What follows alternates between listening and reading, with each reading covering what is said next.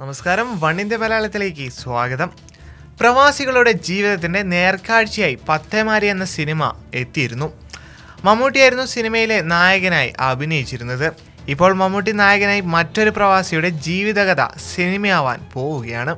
സാമൂഹിക പ്രവർത്തനം കൊണ്ട് പ്രവാസി ലോകത്തെ വിസ്മയമായി മാറ്റിയ അഷ്റഫ് താമരശ്ശേരിയുടെ കഥയാണ് സിനിമയാക്കാൻ പോകുന്നത്. മനോരമയ്ക്ക് നൽകിയ അഭിമുഖത്തിലാണ് താരം സിനിമ വരുന്നതിനെക്കുറിച്ച് തുറന്നു പറഞ്ഞത്. പന്ത്രണ്ട് വർഷം കൊണ്ട് ആയിരത്തോളം മൃതദേഹങ്ങളായിരുന്നു ഇന്ത്യ അടക്കം വിവിധ രാജ്യങ്ങളിലേക്ക് അഷ്റഫ് കയറ്റി അയച്ചത്. അദ്ദേഹത്തെക്കുറിച്ച് സിനിമ വരുന്നുണ്ടെന്ന് പറഞ്ഞെങ്കിലും ഇപ്പോഴാണ് ഔദ്യോഗികമായ തീരുമാനം ഉണ്ടായിരിക്കുന്നത്.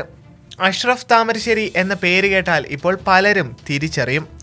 പ്രവാസി ലോകത്ത് നിന്നും മരണത്തിന് കീഴടങ്ങുന്നവരെ മൃതദേഹം വിട്ടുകിട്ടുന്നതിനും നാട്ടിലേക്ക് കയറ്റി അയക്കുന്നതിനും മുന്നിൽ നിൽക്കുന്ന സാമൂഹ്യ പ്രവർത്തകനാണ് അദ്ദേഹം.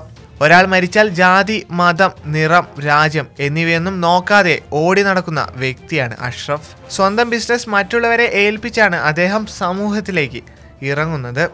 പ്രതിദിനം അഞ്ചോളം മൃതദേഹങ്ങളാണ് അഷ്റഫ് കയറ്റി അയക്കുന്നത്.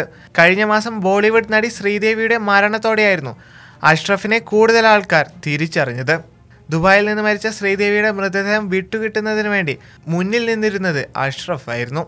അഷ്റഫിന്റെ കഥയുമായി മമ്മൂട്ടിയുടെ അടുത്തെത്തിയപ്പോൾ ധൈര്യത്തോടെ മുന്നോട്ട് പോകാനായിരുന്നു പറഞ്ഞിരുന്നത്. അഷ്റഫിന്റെ ജീവിതം അതുപോലെ പകർത്തുകയല്ലെന്നും അദ്ദേഹത്തിന്റെ ഇടപെടൽ പ്രവാസി ജീവിതത്തിന്റെ തീവ്രതയും മറ്റുമാണ് പറയാൻ ഉദ്ദേശിക്കുന്നത്.